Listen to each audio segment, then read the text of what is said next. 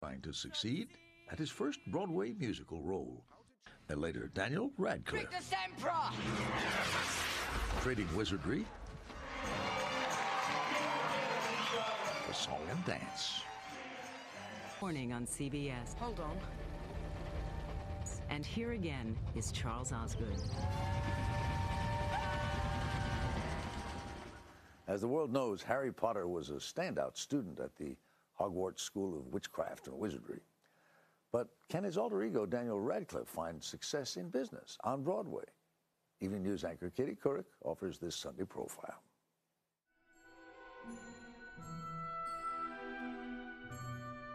You're a wizard, Harry. I'm a what? A wizard. This boy will be famous. There won't be a child in our world who doesn't know his name. The prophecy came true. I mean, it's so just incredible, these guys. I mean, all you have to do is sort of turn around and wave, and they scream. Now 21, Daniel Radcliffe's star just keeps getting brighter. And you can just see the, the cliff of Radcliffe up there. Hogwarts' most famous graduate is ready to make some magic of another kind. Oh, aren't you proud to be starring as J. Pierrepont Finch in the 50th anniversary revival of How to Succeed in Business Without Really Trying. Don't ever let JB hear you say that. Are you nervous? I mean, uh, a Broadway musical. Are you a natural song and dance man, Daniel? No, no. I mean, I, I, singing I can do, but dance took a lot of work. You know, Really? I, I worked for um, about a year and a half with the dance with two dance teachers, one after the other, um, to get half decent. And now, hopefully, you know, I'll be able to surprise a few people. Can you bust now. a move for me No. right now, Daniel? No, no, no, no, no. I will Come make you. I. I will make you pay for that. The dancing shoes might be something new, but performing is old hat.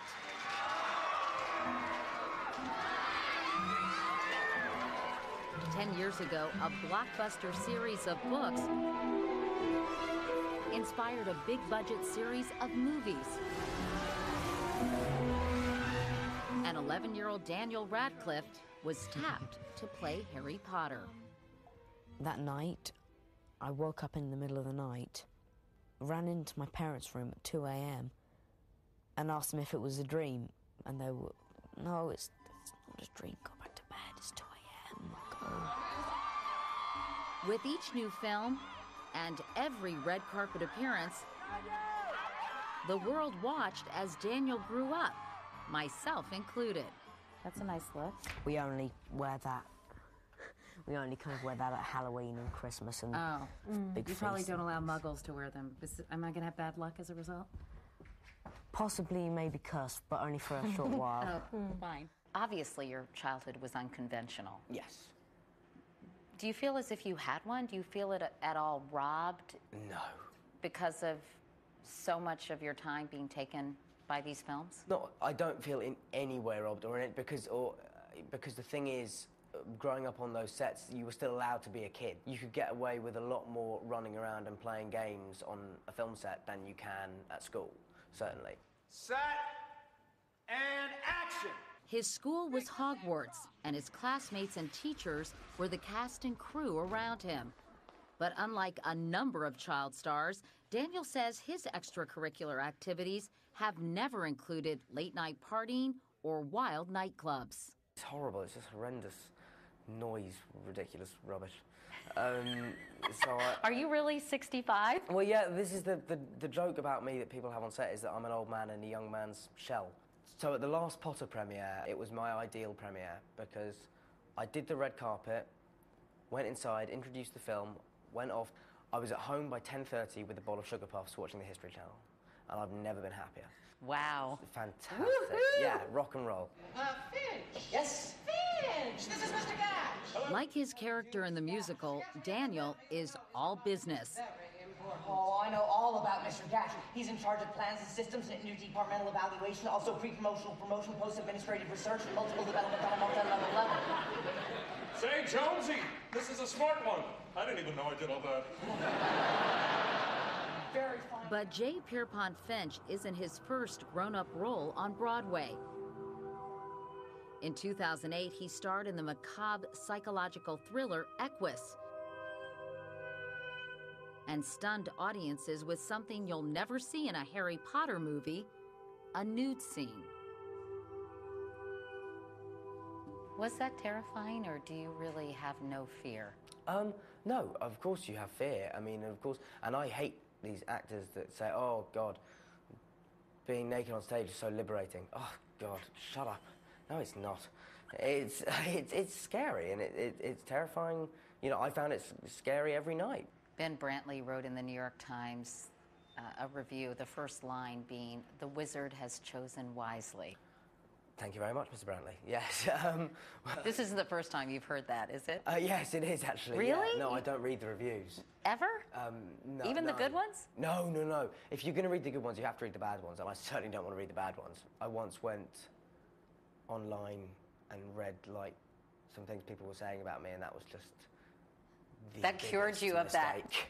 I mean, like that is just. It's an exercise in self flagellation. I highly recommend you don't Google is. yourself. I know it, it, it is like opening a door into a room of people telling you how terrible you are. So I did that once, and I've not made that mistake again. Do you know, Twitter I don't, I or don't tweet? Twitter or tweet. Um, I think Twitter is a really strange thing because there are certain people in the world who are naturally epigrammatic and can say things eh, very concisely and very brilliantly in that short space of time.